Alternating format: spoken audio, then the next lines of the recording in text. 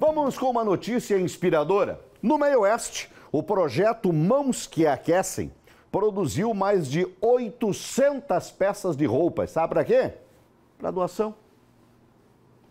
Por sempre ver a avó tricotando e doando as peças, a Mari se inspirou na atitude e resolveu, aos 35 anos, criar o projeto Mãos que Aquecem. Com 35 anos eu tive câncer e aproveitei esse tempo para fazer. E eu comecei durante três anos a fazer esse trabalho de uma forma sozinha.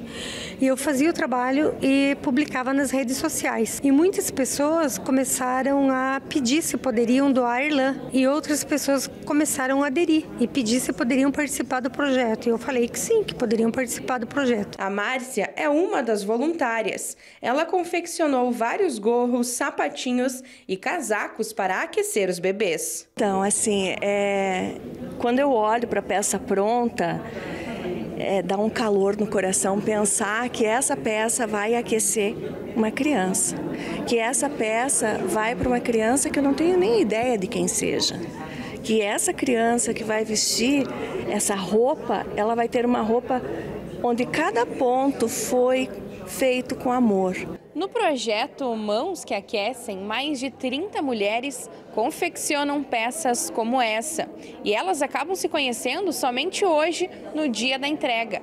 Por aqui vão ser entregues mais de 800 peças entre tricô e crochê para o Hospital Maicé e também para o Caritas Caridade. Mas para que toda essa quantidade de roupa seja feita, é preciso da ajuda da comunidade. Ao todo, 16 madrinhas compram lã para as voluntárias que fazem as peças de tricô ou crochê.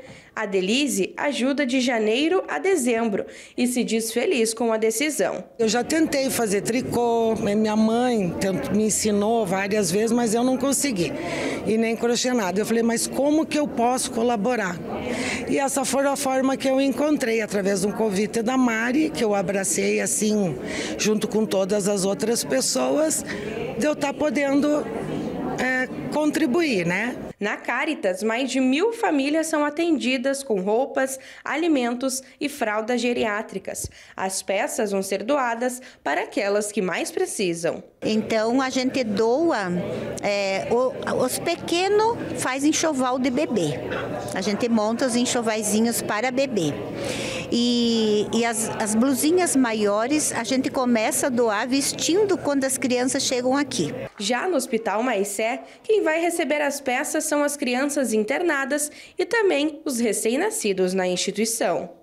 Então é um trabalho feito principalmente pelas nossas assistentes sociais, a psicologia e com certeza absoluta, né, as mãos que aquecem, coração que aquece, esse movimento maravilhoso e que faz tanto bem para quem faz, que com certeza ajuda a autoestima de quem faz e quem recebe também se sente muito agradecido.